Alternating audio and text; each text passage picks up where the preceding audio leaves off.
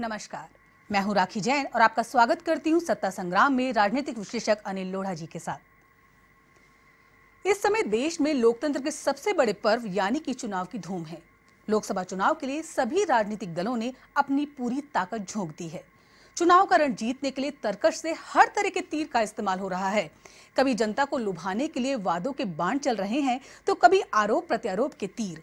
एक एक सीट के लिए रणनीति बन रही है। राजस्थान की राजनीति में भी एक उलटफेर इस समय चर्चा का विषय बना हुआ है। बीजेपी छोड़कर अपनी नई पार्टी बनाने वाले खींवसर विधायक हनुमान बेनीवाल एक बार फिर गठबंधन के बहाने बीजेपी के खेमे में आ गए हैं। पूर्व सीएम वसुंधरा राजे से 36 का आंकड़ा रखने वाले खींवसर विधायक हनुमान बेनीवाल ने विधानसभा चुनाव से पहले नई पार्टी के सहारे तीसरा मोर्चा बनाने का भरसक प्रयास किया, लेकिन सफल नहीं हो पाए। एक बार फिर भाजपा के साथ हनुमान बेनीवाल की कदम ताल क्या रंग लाएगी, ये जानते हैं राजनीतिक विश्लेषक अनिल लोढ़ा जी से। अनिल जी, करीब तीन महीने पहले हनुमान बेनीवाल की बोतल और घनश्याम तिवारी की बांसुरी एक साथ एक मंच पर दिखी थी। और अब बांसुरी ने तो हाथ का साथ ले लिया है और बोतल में कमल बंद हो गया। क्या कहेंगे आप? जी, बांसुरी से वो सुर नहीं निकला जिस सुर की उम्मीद घनश्याम जी को थी। क्योंकि बांसुरी को हाथ में होना ज़रूरी है सुर निकालने के लिए। सिर्फ़ फूक ज़रूरी नहीं है। ये बात अगर उन्हें शायद पहले समझ आती या तीन महीने पहले ऐसा कुछ हो चुका होता हाँ? या पार्टी तो, ही नहीं बनती। हाँ जी तो कोई बात नहीं लेकिन देर आया दुरुस्त आया। बांसुरी तो अब हाथ में चली गई। हाथ के पास है बांसुरी। अब लोकसभा चुनाव में हालाँकि वो चुनाव नहीं लड़ रहे लेकिन उनकी जो राजनीतिक पकड़ भी है फॉलोइंग भी है और समझ भी है। जी। राजनीतिक। बड़ा लंबा अनुभव है। भैर सिंह शेखावत के साथ रहे उनके दत्तक पुत्र की तरह। तो उस लंबे साथ और अनुभव की वजह से वो कांग्रेस को काफ़ी कुछ इनपुट दे सकते हैं इस चुनाव में। और जहाँ तक हनुमान बेनीवाल की बात है दोनों संयोगवश एक साथ हुए थे क्योंकि न तो तुझे कोई ठौर नहीं मुझे कोई और नहीं वाला किस्सा था। जी। अब दोनों एक मंच पे हो गए। लेकिन घनश्याम घनश्याम जी के आने से न तो बेनीवाल को कोई फ़ायदा था ना बेनीवाल को आने से के आने से घनश्याम जी को फ़ायदा था। जी। दोनों दोनों की जो कॉन्स्टिट्युएंसी अलग अलग कॉन्स्टिट्युएंसी मतलब विधानसभा क्षेत्र की बात नहीं कर रहा हूँ मैं। जी। जिस कॉन्स्टिट्युएंसी को एड्रेस करते हूँ। जी। समाज के जिस वर्ग को वो एड्रेस करते हैं समाज का जो वर्ग उनकी बात सुनता है। जी एक का ब्राह्मण समाज और ब्राह्मण समाज के अलावा नहीं वो बहुत अलग किस्म के लोग हैं। जी। ब्राह्मण की बात जाति के आधार पर नहीं कह रहा मैं बात। जी। जो घनश्याम जी का टेम्परामेंट था और रहा ज़िंदगी भर और जो इसका मोडस ऑपरेंडी है हनुमान बेनीवाल का उनमें छत्तीस का आंकड़ा है दिन रात का अंतर है। जी। लेकिन फिर दोनों संयोगवश एक मंच पे हो गए थे। अब फिर अपनी अपनी जगह चले गए वो उधर और ये इधर। जी। बीजेपी के साथ चले गए हनुमान बेनीवाल। पहले वो कांग्रेस से बात कर रहे थे। कांग्रेस में बात ये थी कि वो चूरू में एक सीट उनको देना चाह रही थी कांग्रेस। पर प्रत्याशी वही होते जो मंडेलिया जो अभी चुनाव लड़ रहे हैं। बस सिंबल दूसरा हो गया था। तो वो मुस्लिम प्लस जाट वोटों से जीत सकते थे। ये कॉम्बिनेशन बन सकता था। लेकिन लेकिन हनुमान बेनीवाल खुद लड़ना चाहते थे और नागौर की सीट ही चाहते थे। जी। कांग्रेस नागौर की सीट को छोड़ने को तैयार नहीं थी। ज्योति मिर्धा ने विधानसभा चुनाव में बहुत मेहनत की थी। पूर्व सांसद भी हैं वो, और इंडिया बुल्स के घराने से आती हैं तो वो एक ताकतवर घराना भी देश का है। और मिर्धा परिवार की सदस्य हैं, जिस मिर्धा परिवार ने छः दशक तक नागौर की राजनीति में, चाहे रामनिवास मिर्धा का परिवार हो, चाहे नाथुराम मिर्धा का परिवार हो, साठ साल तक लगभग नागौर की राजनीति में वो छाए रहे। और खास बात यह है कि 1977 के चुनाव में पूरे उत्तर भारत में दो सीटें जीती कांग्रेस ने। पूरे उत्तर भारत में। उत्तर प्रदेश, बिहार, मध्य प्रदेश, पंजाब, हरियाणा, राजस्थान, छत्तीसगढ़, जो छत्तीसगढ़ नहीं था उस समय।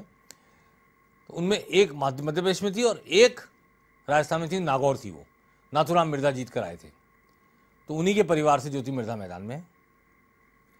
उनके सामने हनुमान बेनीवाल अब अपनी पार्टी से बोतल के चुनाव चिन्ह से चुनाव लड़ने जा रहे हैं। भाजपा मिशन 25 मिशन 25 कर रही थी। जी।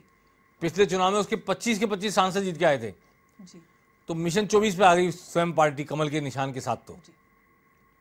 ठीक है कहने को कह लेंगे कि हमारे अपने हैं पर अगर जीत गए मान लो भाई दबे और हो सकता है कि वो ऐसी परिस्थिति बने कि मोदी की जगह दूसरा गठबंधन बन रहा है यूपीए का उसके साथ चले जाए तो क्या कर, कर सकते हो आप? जी रोक थोड़ी सकते हो बिल्कुल। तो इसलिए वो एक इंडिपेंडेंट अलग पार्टी हो गई। अब भाजपा का मिशन 24 रह गया। मिशन 25 में से दो सीटों पर उपचुनाव हुआ था। मैन चांदनाथ का निधन हो गया था अलवर के सांसद और सांवरलाल जाट जो अजमेर के सांसद थे केंद्रीय मंत्री थे उनका निधन हो गया था। दोनों सीटें भाजपा गंवा बैठी थी। सीटें ही नहीं गंवा बैठी थी बल्कि उन सीटों के अंदर आने वाले आठ के आठ विधानसभा क्षेत्रों में पराजित हो गई थी भाजपा। इस पराजय के बाद भी लोकसभा चुनाव में भाजपा ने अपने परफॉर्मेंस को उपचुनाव के मद्देनजर पिछले लोकसभा चुनाव के मद्देनजर नहीं करा पिछले विधानसभा चुनाव के मद्देनजर नहीं करा। उपचुनाव के नतीजे के मद्देनजर सुधारा और अजमेर में भी भाजपा को चार सीटें मिली। नशीराबाद पुष्कर और अजमेर शहर की दोनों सीटें। कांग्रेस को दो सीटों पर संतोष करना पड़ा जबकि उपचुनाव में आठों सीटों पर जीती थी। और दो सीट निर्दलीयों खाते में चली गई अजमेर लोकसभा क्षेत्र की। उस पर बाद में चर्चा करेंगे। जी। हम हनुमान बेनीवाल के आने की वजह को देखना चाहते हैं। जी।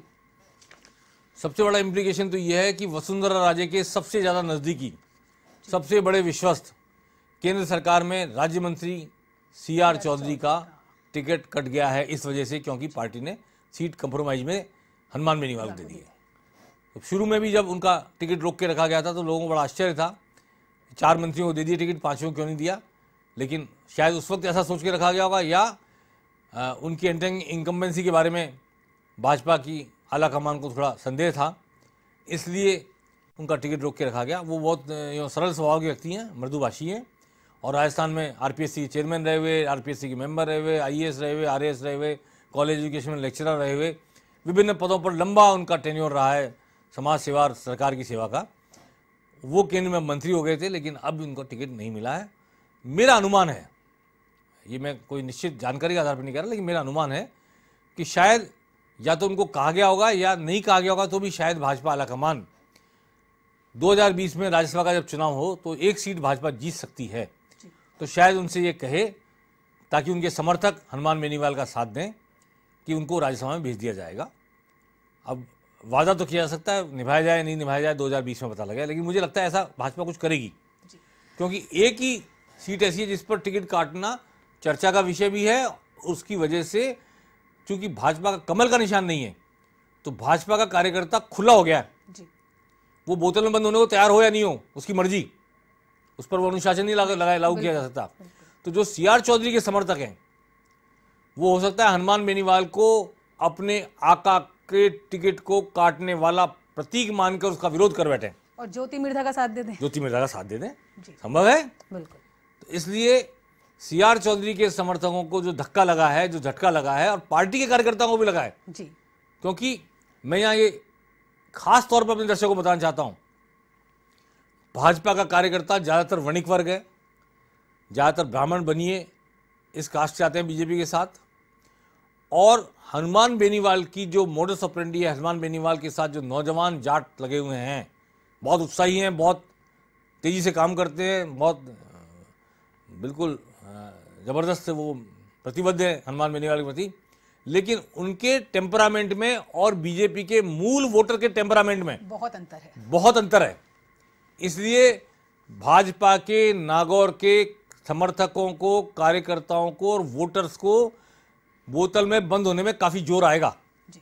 और भाजपा के सामने बड़ी चुनौती होगी कि वो हनुमान बेनीवाल को अपने वोटर शिफ्ट कर पाए। जी। चलिए अनिल जी मुझे एक बात बड़ी चर्चा मैं ही क्या पूरे इस समय पूरे राजनीतिक जगत में ये चर्चा है कि वसुंधरा राजे भाजपा का सबसे बड़ा चेहरा राजस्थान का राजधानी में मौजूद थी लेकिन जब इतना बड़ा एक अपन कह सकते हैं गठबंधन था भाजपा का वो नदारत थी उस कार्यक्रम से। हनुमान बेनीवाल ने अशोक गहलोत, जो मुख्यमंत्री आज और पहले मुख्यमंत्री थी वसुंधरा राजे दोनों के खिलाफ क्या क्या नहीं कहा?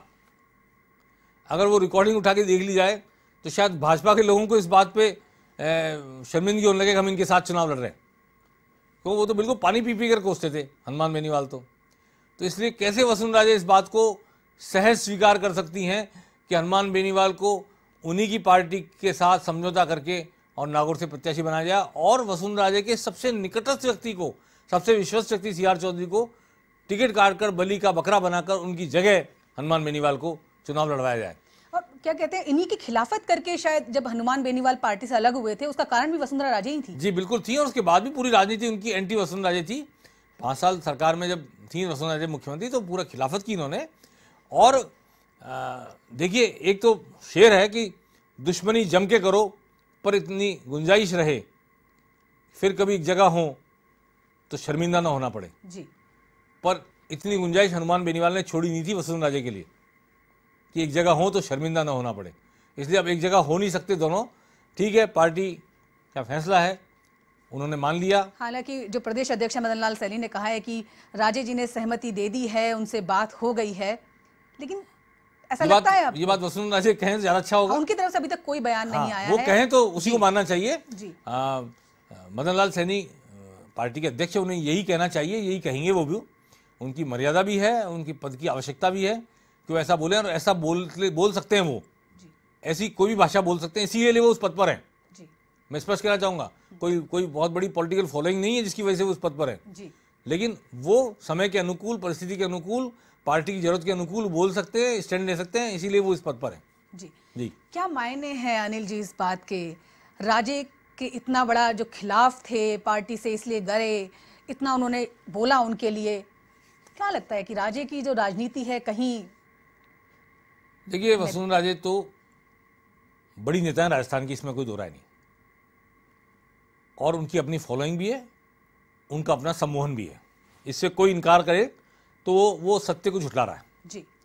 लेकिन उन्होंने पार्टी के भीतर मुख्यमंत्री रहते समय जिस तरह आला कमान के आदेशों को दरकिनार किया आला कमान को कदम पीछे हटाने के लिए खासतौर पर गजेंद्र सिंह शेखावत के मामले में विवश किया अपनी मनमर्जी चलाई और उनके आगे कोई कुछ बोलने की स्थिति में नहीं था आला कमान को आँख दिखाने की वजह से आला कमान अब जब लोकसभा चुनाव में आपको ध्यान हो हमने पहले भी कहा था कि जब लोकसभा चुनाव होंगे विधानसभा चुनाव में आला कमान पूरी बात उनकी मान रहा था टिकट उनके हिसाब से बट रहे थे तब हमने कहा कि हार भी इनकी होगी जीत भी इनकी होगी श्रेय भी इनका अपयश भी इनका और आला कमान लोकसभा चुनाव अपने स्तर पर लड़ेगा। ये हमने आज के चार महीने पहले कह दी थी बात।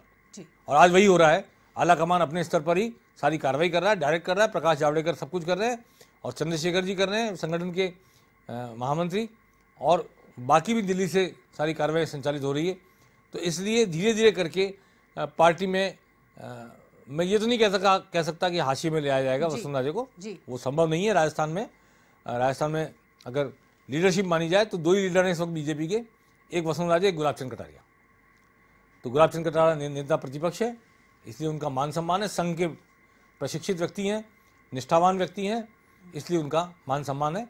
लेकिन जो पब्लिक ओपिनियन है वसुंधरा राजे की है काफ़ी और उस पब्लिक ओपिनियन को मोदी के प्रति पब्लिक ओपिनियन ओवर शेडो करेगी। ये भरोसा आलोक कमान को है। जी।